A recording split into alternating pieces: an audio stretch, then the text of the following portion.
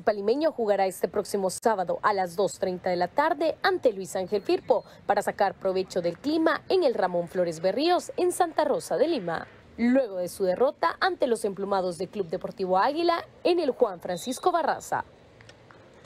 Lastimosamente no se nos dio.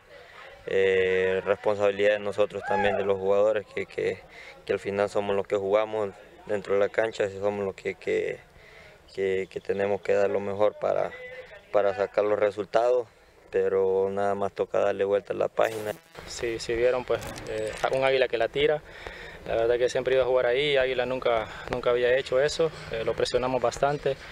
En lo físico creo que anduvimos muy bien, lastimosamente los penales nos afectaron, pero igual el refuerzo de los cucheros, Arnulfo Beitar Córdoba, ya será parte del equipo para este juego, si el profesor lo cree conveniente. Además, se confirma que el cuadro dirigido por Misael Alfaro no presenta ningún lesionado ni suspendido.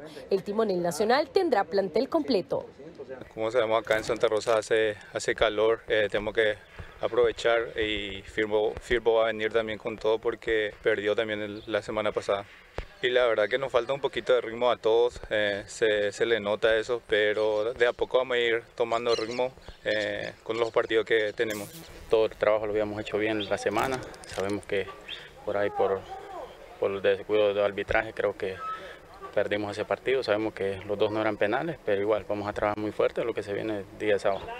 El cuadro representativo de Santa Rosa de Lima jugará el sábado para prepararse con más tiempo al compromiso en Liga con CACAF el próximo jueves 22 de octubre en el Estadio Cuscatlán ante el Forge de Canadá. Pero apenas ellos vienen, eh, nosotros tenemos mucho tiempo juntos. Bater que nomás hace poco vino, pero igual eh, se acopló rápido. Somos una familia y la verdad que eh, la verdad que tenemos que ganar contra Firpo sí o sí. Informó para Fanáticos Plus, Tuti Santa María.